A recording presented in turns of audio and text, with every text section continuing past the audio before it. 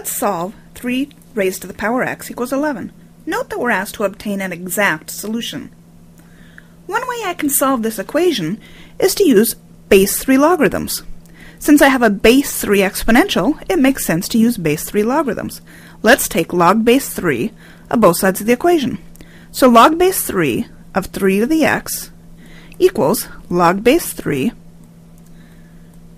of 11. Well, let, what is log base 3 of 3 to the x? The question you need to ask yourself is 3 raised to what power gives me 3 to the x? Well, x, of course. So we have x equals log base 3 of 11. Pretty simple, huh? Well, another way we can think about doing this is to use natural logarithms or common logarithms. Some people prefer that method because computers and calculators tend to have either a natural logarithm, a common logarithm, or both. Let's take the natural log of both sides of our equation and see what happens.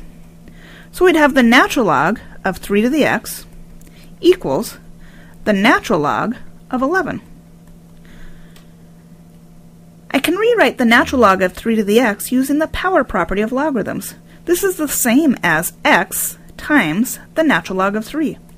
So I have x times the natural log of 3 equals the natural log of 11.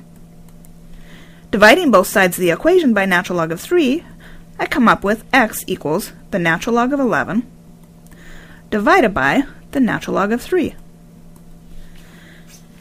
Now my two values for x don't look the same here. But remember we have a change of base formula. I can change that log base 3 of 11 to any base that I want to.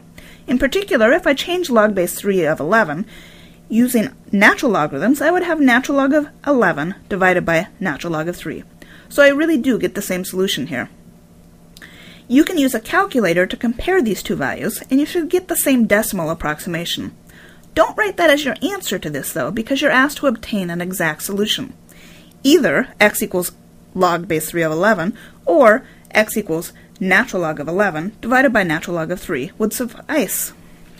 So we can either say the solution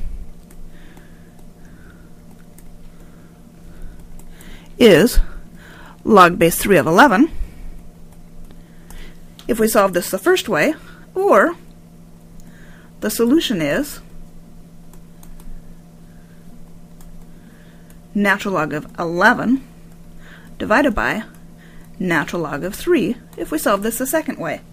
Both of these are exact solutions.